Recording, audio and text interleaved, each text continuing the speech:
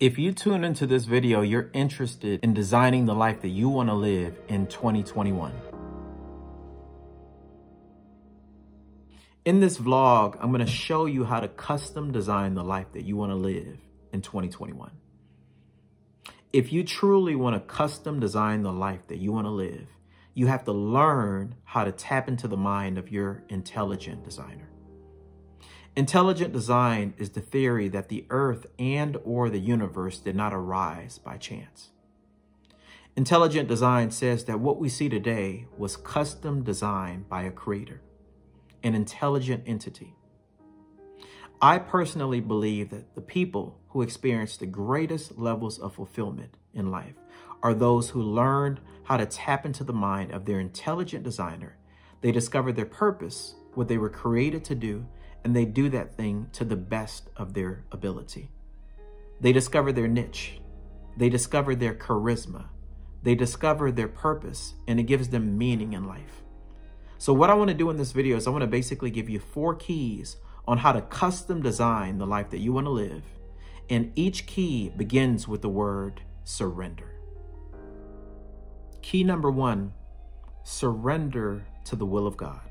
Surrender is not necessarily giving up, it's giving in. It's when you stop fighting God, when you stop wanting to have things your way, when you start getting wise, when you start realizing that He has a better plan for your life than you do. Surrender also requires sacrifice. It means that you're going to have to give up something. Most of the time, it means giving up your will and your way. And it's stepping out of the way and letting Him step in. And now He can begin to do miracles in your life. So surrender your life to the will of God. Psalms 37 and 4 says, Delight yourself in the Lord, and He will give you the desires of your heart. When you surrender, you start believing that God's way is best and that ultimately He will give you the things that you want and more. So, key number one surrender your life to the will of God. It will be the best decision that you ever make. Key number two surrender occurs when you stop resisting the natural direction of your life. Do you know that your life was designed to go in a natural direction? I want you to think about it for a moment. You were born in a specific year, in a specific month, on a specific day to a specific family. You encountered specific people and you had specific experiences with those people. All meant to mold you and design you into a unique, one of a kind human being. You're the only person that can offer the perspective that you've experienced while living this life. I believe that when you surrender to the will of God, God begins to show you how to connect the dots of all the unique experiences that you had. And he shows you how those experiences were meant to pivot your life in a specific direction. So he moves away the fog so you can clearly see exactly what he wants you to do and what he what he wants you to accomplish in life. So I believe that we have to stop resisting the natural direction of our life. And when we stop resisting that natural direction, we can clearly see the path that he wants us to go and walk straight into it. Key number three, surrender is a letting go. Letting go of what's comfortable, letting go of what's convenient, most of the time, letting go of what makes the most sense. I remember some of the most difficult, but the most fulfilling decisions that I've made in life were decisions that didn't make sense at the time but it made sense afterwards. You know, so sometimes when you have to surrender to God, you have to let go of what makes the most sense. There's a parable in the Bible where a rich man came to Jesus and asked Jesus, what must he do to inherit the kingdom of God? Jesus told the rich man to go and sell everything that he had and to come back and follow him. The Bible says that the rich man went away sad because he had great possessions. He couldn't give up what made the most sense. But if he would have given that thing up, he would have had so much more here in this life and also the life after. You know, so sometimes we have to let go of what makes the most sense.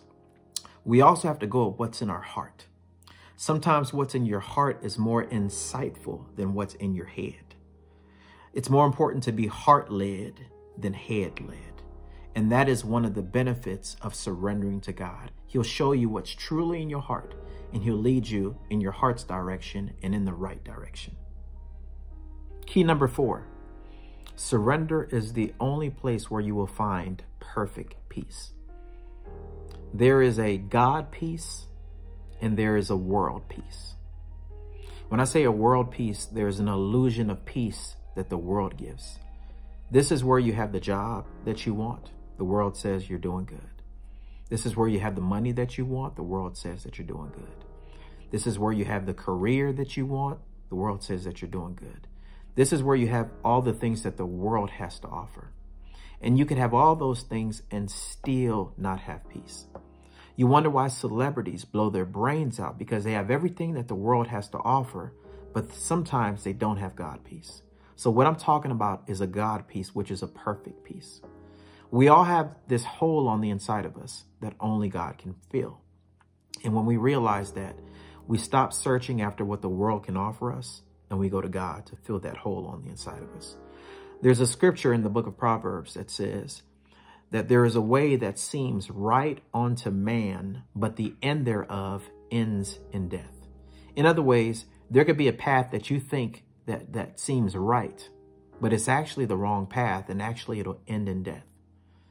Death to your purpose, death to meaning in life, death to fulfillment, because ultimately it's the wrong path that you were supposed to take. So what I want to encourage you to do is to surrender to God so that way you can have perfect peace. It's a complete peace. It's a peace where you can lay down at night and actually sleep and rest. So surrender to God and you'll have perfect peace. In conclusion, I want to leave you with this quote. Most people spend their whole lives climbing the corporate ladder of success, only to realize that when they've reached the top, their ladder was leaning against the wrong wall. I don't want that to happen to you. When you tap into the mind of your intelligent designer and you surrender to his will, he will ensure that your ladder is leaning against the right wall. I trust that you got something out of this video. If you like the video, please like it, please share it, and please subscribe. God bless.